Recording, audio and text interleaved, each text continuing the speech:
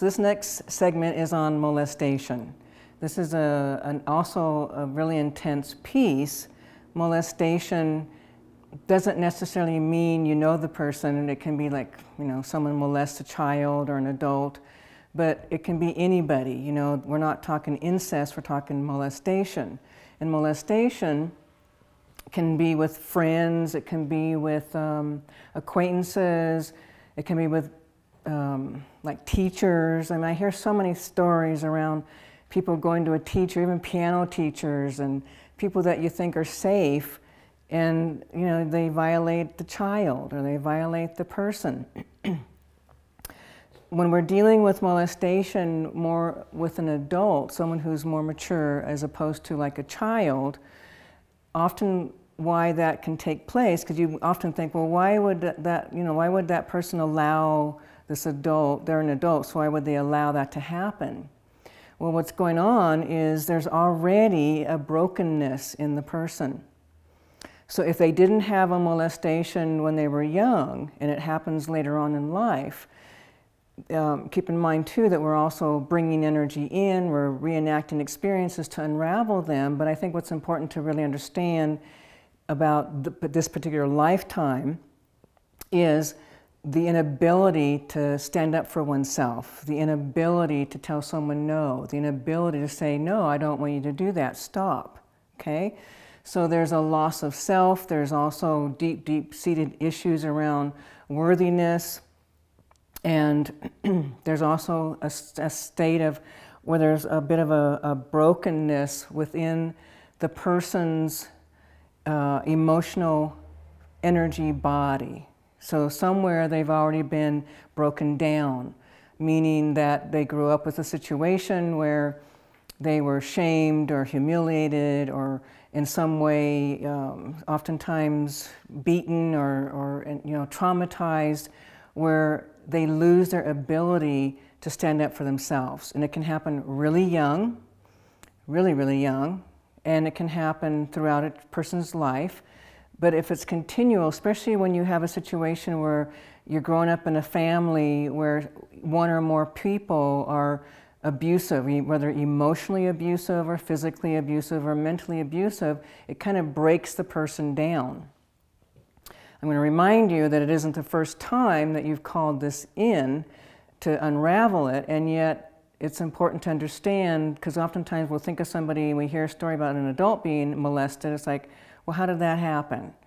Well, that happened because of their inability to stand up for themselves, to protect themselves. So there's a fracture somewhere, there's something's broken somewhere. So we want to start mending that brokenness. Now, if it happens with a child, where a child's being molested, then oftentimes they're calling that in most, you know, from past lives, but also somewhere there's a, a, reenactment to relive a situation, to relive that kind of disempowerment, that kind of abuse, to unravel that. And again, there still is, uh, like with children, you know, we look to adults, we've been taught to respect your elders, you know, and we, I mean, we've been taught too not to talk to strangers, things of that nature, but oftentimes molestation comes with people that you know, like I said, you know, teachers and friends and you know different playmates, different situations, and there's still that inability. And then oftentimes too, sometimes with young children, they don't realize that that this is something that's inappropriate. This is another thing that happens, and then the child grows up feeling like wow, I did something wrong, uh, you know, there must be something wrong with me, because oftentimes too, a child can actually enjoy the molestation. This is another piece of uh, molestation is people, children, especially with children, when it's been a pleasurable experience, there's, it convolutes the feelings inside and they feel a sense of shame, but also a, a sense of pleasure, and they enjoyed it, they liked it, but they also had a sense that there was something wrong, that they weren't supposed to be doing that or that shouldn't be happening, and so it twists everything up inside. Okay, it makes, it makes the body have all this emotional twists and distortions so that you know they're trying to they're trying to unravel things and yet it's just like the mind can't wrap around it because it's all convoluted. It's all mixed together. The, the, the shame the trauma the pleasure the joy all of that is just all mixed together. So what we have energetically is like an enmeshment you know? So if we had just separate things like okay here's the trauma here's the intensity here's the the horror of it here's the you know the the um, the pain of it and yet over here is the pleasure it's not separate anymore it's together it's enmeshed it's convoluted. And unraveling that is a little bit of a different unraveling than if we're just dealing with a trauma and a shame or a pleasure or joy so we have to kind of disengage these pieces on an energy level so they're no longer enmeshed in order to unravel that energy now, not everyone who's being molested is having pleasure. Sometimes it's like, even with children, if they've already got anchored in in this lifetime that they don't have any power, they, they don't have the ability to say no, they can't say no, they don't get to stand up for themselves, they don't have the right to stand up for themselves, then they become victims to molest, that molestation. And still, they can still have pleasure in it. And at the same time, not every child is going to have pleasure, but there oftentimes there is. This is, the, this is part of how, how uh, problematic it is to unravel molestation. You know, so you might think, okay, well, yeah, let's just remove the perpetrator energy, let's clear out, um, you know, the feelings and all that. But when they're kind of together, it's a little bit of a different unraveling. So also, I just want as a reminder that people understand and really get this piece that this is not your first experience, okay? It's, it's happened before, and this is not your first incarnation. And in your past incarnational experiences, we want to unravel and find where it all began. You know, where was the molestation? And Molestation is different than rape. Rape is an actual violent act, whereas molestation is more of a coercing one into doing something. You know what I mean? It's like, it's not like the child isn't like fighting, fighting, resisting. You know, they might not want to, but they're still not in that intense um, battle of, of fighting off somebody. Okay, so molestation is it is a sexual act, but it's more, I would call it like a, like a softer rape, so to speak. You know, so it's like it can happen with, uh, you know, different people that you know, and it can even happen with people you don't know. But it's still different because on some level you're not saying, you're not resisting, you're not fighting. Something's not happening like against your will. But the reason you're still not saying no can be because either you don't know there's a right or wrong in this, or because, like I said earlier, there's a brokenness, there's a split in your ability, there's a fracture somewhere where you've already been disempowered. Okay, you, you, can get disempowered through your parents, through your mother, your father. You can get disempowered through your siblings. You know, if you've even situations where, if you've ever had uh, where you were with a sibling and they overpowered you. And I, mean, I used to fight with my brother a lot, and he'd get me down on the floor and pin my arms and you know do stuff. Not sexually, but he would do things. But there was a disempowerment. Even though I'd fight with everything I had, I couldn't win. Okay, and then also being having grandmother and, and different parents and dis, dis, uh, disabling that ability to stand up for oneself. You know, it's like you get over, overpowered by, by bigger people, by adults, and you lose your strength, you lose your power, you lose your ability to stand up for yourself. You lose the ability to say, no, I don't want that. Or yes, I do want that. I mean, how many people struggle with that issue right there? Where they, you know, someone, you know, where you're not really saying yes when you want to say yes, you're not really saying no when you want to say no. You're disempowered. It's a physical sensation that happens in your physical body, yet it's an emotional sensation as well. It's like being locked down, like being frozen, being inhibited, being blocked. You can't stand up for yourself. And most people have areas in their life where that occurs, where they're not able to say yes or no. because they want it or they don't want it. They'll, go, they'll do the opposite because there's a disempowerment.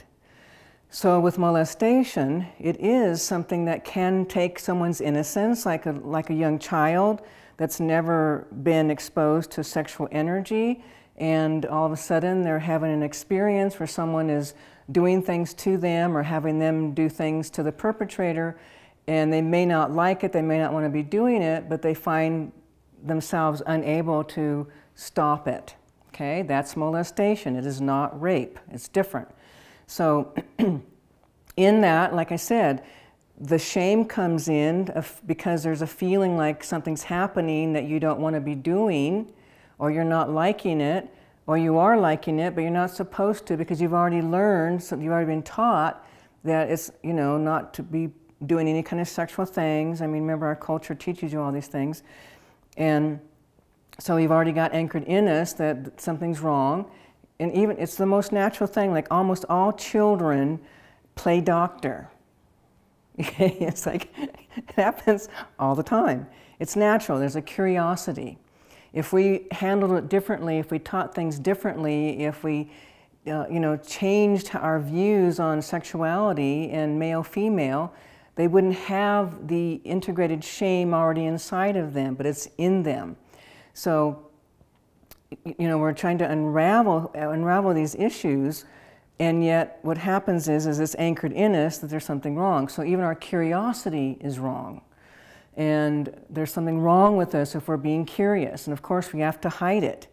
And then, and then if we don't hide it, we go tell our mom, Mom, Mom, Joey and me, we were playing, we were looking at each other's peepees. What? You know, parents get all upset, freak out. Okay, now you can never see Joey again, okay? So there's that like, what? Well, why, why, why? Because, you know, then we learn that, okay, that's not okay. So all this ingrained energies, all these teachings and uh, from our parents teaching us that there's wrongness, then it, it kind of makes us feel uncomfortable, and that also anchors in it, that helps to anchor in the shame aspect of our own sexuality. It doesn't just go away. It's like it's like something gets like dropped right into the psyche.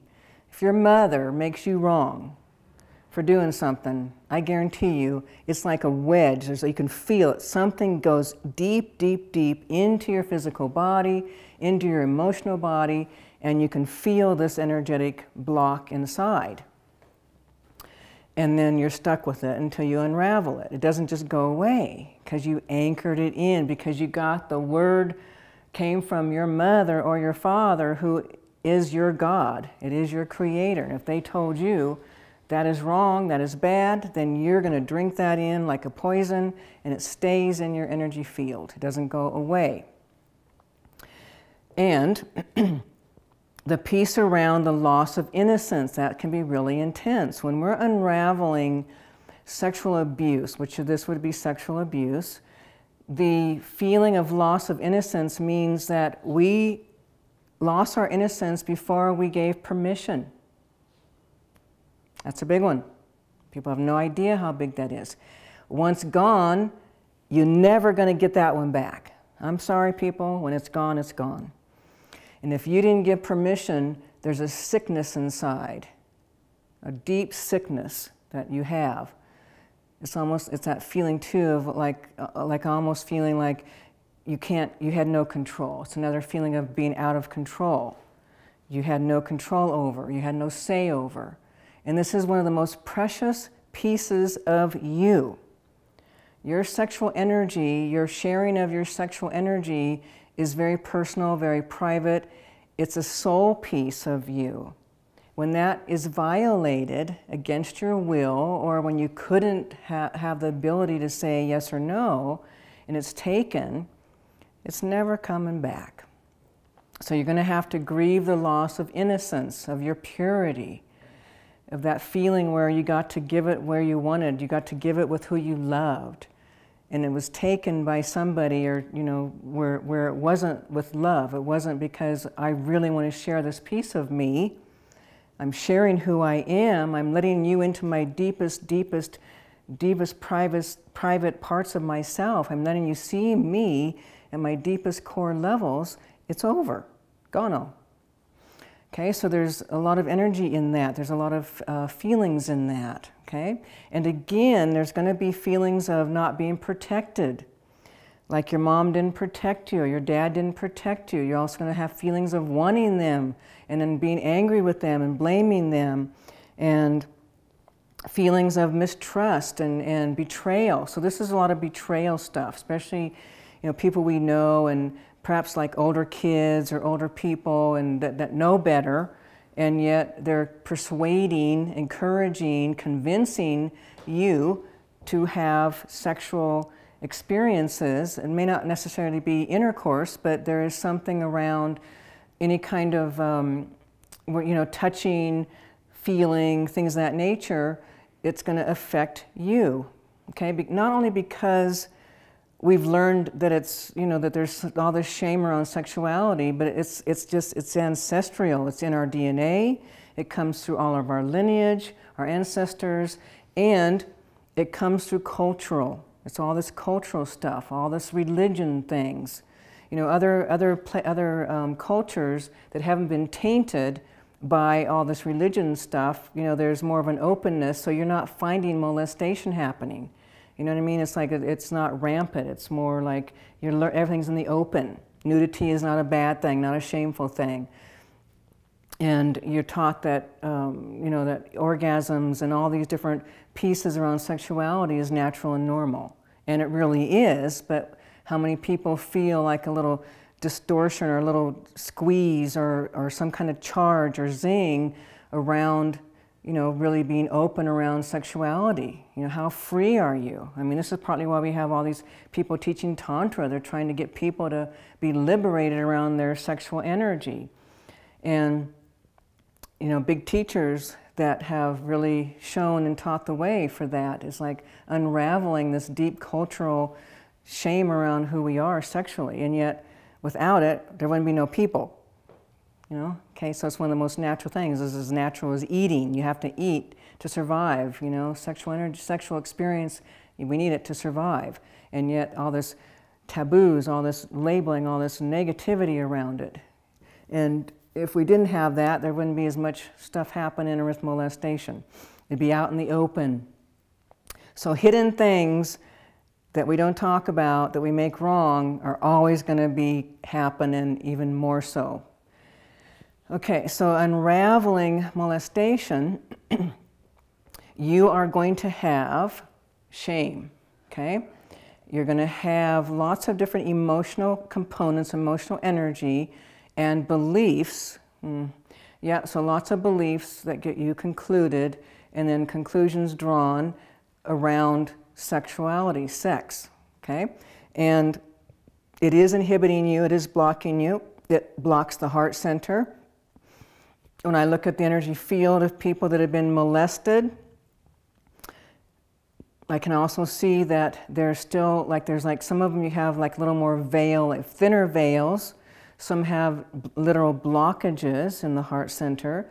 Uh, what that is is the inability to just let yourself be visible. So sometimes even okay, check this out. So even you know how people even standing up in front of others and in front of crowds and they get really uncomfortable. Keep in mind that what's happening is at an unconscious level, we are feeling that everybody can see everything about us. So if we have feelings or beliefs or judgments around ourselves, especially around our sexuality, our sexual energy, our sexual experiences, we're going to be really uncomfortable standing in front of a group. This is one of the components why people feel really uncomfortable. They feel all the shame come up, they get inhibited, they start feeling sweaty, or they can't talk, they can't think clearly. It's because when we stand in front of a crowd, in front of a group of people, it's going to feel like we're exposed. Because in some ways we are, but no one's really going to see all of us unless they're able to track energy. But we don't know that. It's all subconscious. So we feel uncomfortable when we're put on the limelight or put on the spot in front of people, called even in class. How about in class? Anybody ever feel uncomfortable when teacher might call on you when you didn't expect it? Face turns red, you get all inhibited, you can't function, you lock down. yeah, well, that's because it feels like everything is being exposed, especially for a kid. So, unraveling all of that, it's not just past lives, it's all the you know, the convoluted experiences, all the convoluted energies and frequencies that we want to unravel. So, again, just a reminder when we do the unraveling, it's important that you let yourself just feel. If you have memory of a molestation, then I want you to remember it. Okay? We're also going to call in the perpetrator of this lifetime, those who have done that, because we want to unravel your feelings towards them. Okay? And at first, may, sometimes people might feel when we first call them in, it might be really uncomfortable.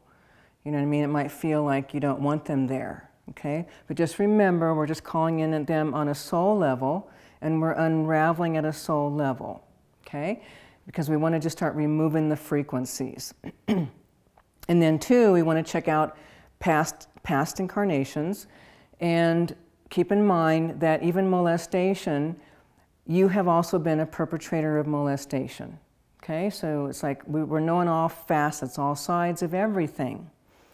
And also, the thing about, about molestation is sometimes it's with people that you really love, that you really like, that you really trusted. Okay, like let's say, I mean, I, I, the piano teacher thing keeps coming because I remember someone that was being molested by a piano teacher, and they loved the fact that they go in and learn how to play the piano. So it had that kind of like a push pull feeling. They wanted to learn, they loved that, th- that part. They couldn't tell their parents, they were disempowered to tell their parents, and yet they were being molested and it felt bad, it felt yucky. So they had this, you know, like this push pull, like a, a distortion inside. And yet they really like the piano player. So there's that love hate kind of feeling. So if you've had someone that you've been molested by, then you can have that experience. So I'm just going to kind of do a quick check-in. So people that are present with the with the perpetrator, did you feel a connection to them? Did you feel like a friendship or a caring or a loving or anything along those lines? Did you ever like them? Okay? So you may not have liked them afterwards, but prior to, you did like them. You may, be, may have even loved them. Okay? So there, when, you, when that happens, there's a feeling of deep betrayal. You know what I mean? It's like, okay, here's this person that you had all this respect for, or you cared about, or even wanted to be like them. And then they violate you through molestation, and it shatters your, your perceptions of trust and it shatters that feeling of love and it, and it hits deep, deep places of betrayal. So when we look at betrayal, that always happens in past incarnations. So we want to unravel those betrayals of, you know, in the past. Because with betrayal, once you feel a sense of betrayal, it's going to happen repeatedly in your life. It's going to happen again and again and again in your life.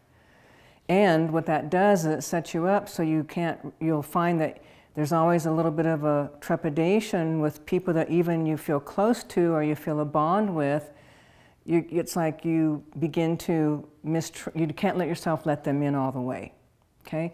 So this is like that little bit of that barrier. Some of them are like little veils, but some of the energetics where we don't really let ourselves fully come out and play. Got to hide who we are, got to protect who we are. so I just want to remind you around the piece of the part, the aspect of you, the true essence of who you are. Like you can find it all the time, it's always there. It's that part of you that nothing really can touch, nothing can damage, nothing can hurt there is no hurt, no pain in that aspect of you. It's the untouchable aspect of who you are. It is your awareness. You all still have that. And, and, and also you're trying to protect that part of you. And the truth is, is that part of you does not need protection because that part of you cannot be damaged. It's just not possible. So what we want is we want that part of you to come out and play rather than you trying to hide it and protect it.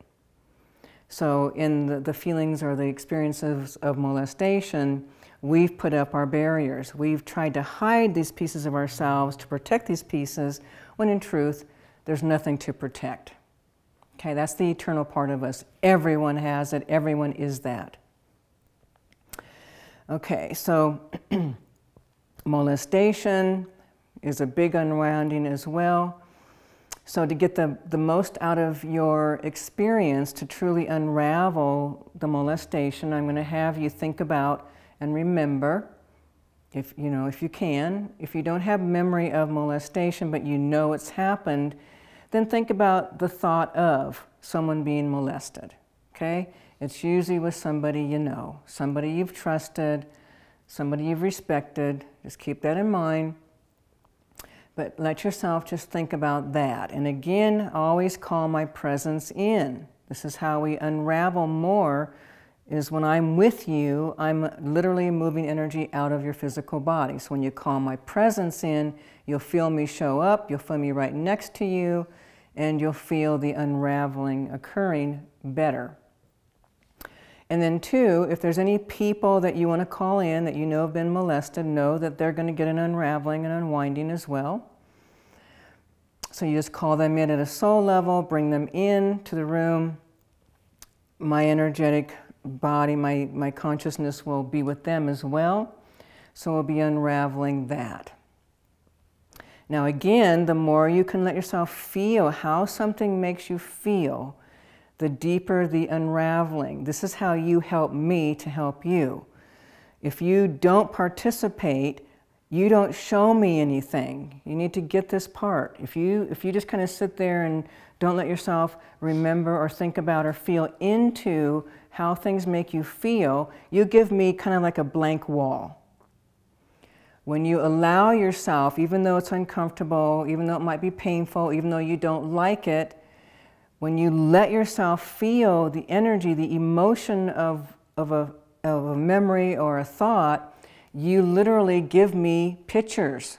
You give me something to work with. You give me a roadmap. Okay, so I need your roadmap. Even if you're online, it doesn't matter. Feel into how things make you feel. Even like I said, if you even if you don't think you've ever been molested, or maybe you're thinking, I don't need this particular topic because I haven't been molested. I'm going to tell you straight up in your life stream, somewhere, you have been, and you are still affected by that. So even if it means think about somebody else that's been molested that you've heard about. I'm, i know everybody's heard of somebody who's been molested, okay? You, you can't live, be alive and be in the world and not have met somebody that's been molested. You're affected by it. Okay, so even if it means remembering their molestation and noticing how it feels in your body and allowing those feelings to be there.